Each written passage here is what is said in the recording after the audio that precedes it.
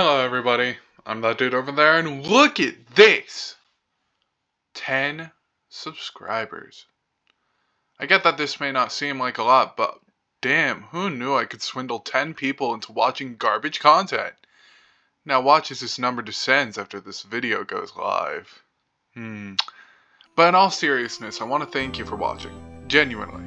Like, I've said it before, it takes a lot of work making the videos I do, and I'm glad that 10 people have decided that these videos are worth tuning into basically every week.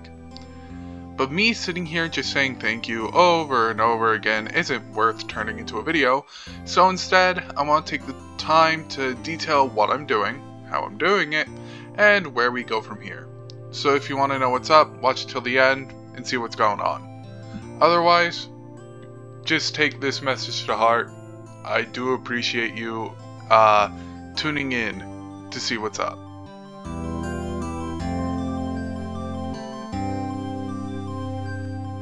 So let's start with this. My very first video was me playing the Gauntlet till I beat it as a Nuzlocke. I decided to stop it at black and white for more or less two reasons. One, I wanted a challenge and with the exception of like Ultra Sun and Moon, I don't expect to get one after the Unova games. Second, for recording reasons.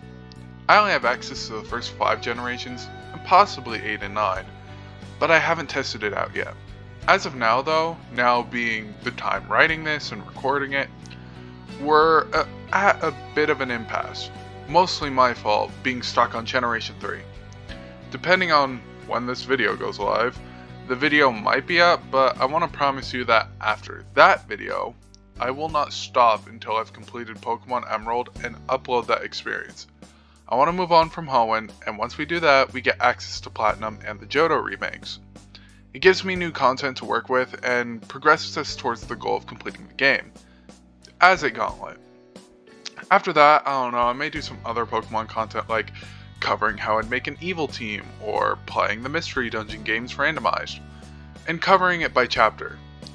Either way, it's going to be a lot of fun. You know, once the gauntlet is over.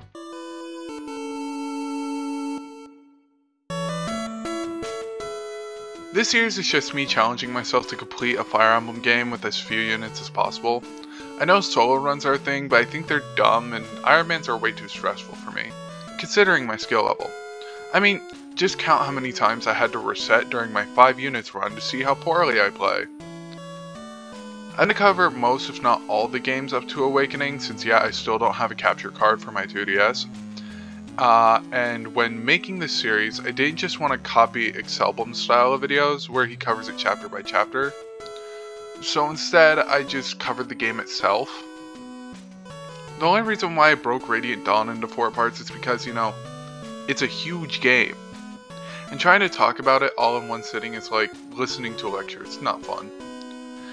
If I manage to burn through this sinkhole, I might randomize the games for content since you can do that. Or maybe play some ROM hacks, but you know, if we get to that point, you'll get to really see how bad I am.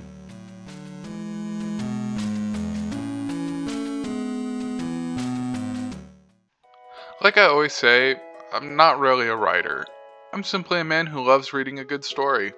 It's why most of the can you fix stuff you see, I rely on vagueness or tropes that are often seen while I explain what I would like to see from them.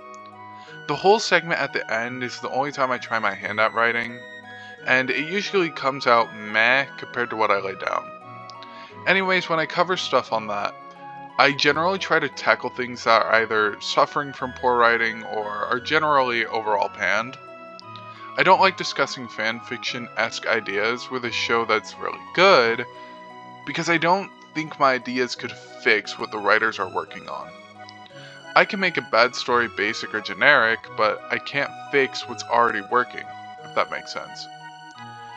If I find anything else that sucks, that I can think I can make better, I'll let you know. But until then, uh, I'll just uh, continue looking. Or, you know, you could send me some ideas.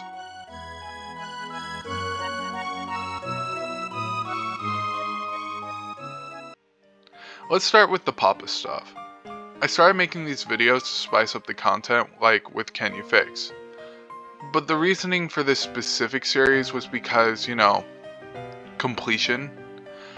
Have you ever came across a game from your childhood that you wanted to beat but never could? Was there a game that you would play at the computer lab at school that you could never finish? Well, for me, that was any of the Papa's games. I'd get so far, only to give up or not continue out of lagging boredom. So I wanted to beat a Louie's game, and since these games tend to go on forever, for me, it's when I can serve something to the psychotic chef, Papa Louie. Depending on how many people like it, I might do various other sequels to the game, just to keep the spirit alive, but um, I think this series has really helped when trying to space out videos. It gives me an additional week to work on stuff and come up with something for the following week. So, I don't know what I'm gonna do once it's done. Uh, beyond that though, I have a few other ideas I want to try, so that way we can branch out, you know, outside of like the Fire Emblem and Pokemon stuff. As of writing this script out, I saw Helluva Boss for the first time and want to talk my experiences uh, about it as an outsider looking in.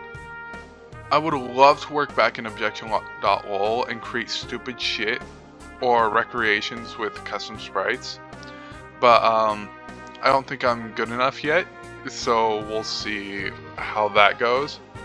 And you know, it's been a while since I've worked with it, and considering how well the video did last time I was doing it, when I was doing a uh, recreation with all my friends' arguments, they seem to enjoy it, and you guys seem to enjoy it, so you know, I'd love to continue doing stuff with it. But um, yeah, that's all I wanted to talk about for this video. Future plans, ideas of what's to come, general stuff, blah blah blah blah blah. Hopefully we can continue to grow and get better. But until then, I've been here. I hope you enjoyed. And until we meet next time, stay safe out there, alright?